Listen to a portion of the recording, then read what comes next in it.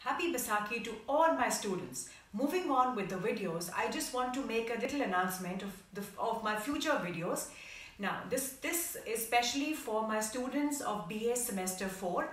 We have already covered the topic on Guru Gobind Singh Ji. We have done a detailed, uh, I have done detailed videos on him. Now the coming videos will be on Banda Singh Bahadur, on his achievement, his reasons for uh, the causes, uh, reasons for his uh, success and failure. And the second video that I will be making will be on Dal Khalsa, how Dal Khalsa was formed, what was its uh, significance in the Sikh history. The third and the last video that I will be making will be on the Sikh misls, a very important topic indeed.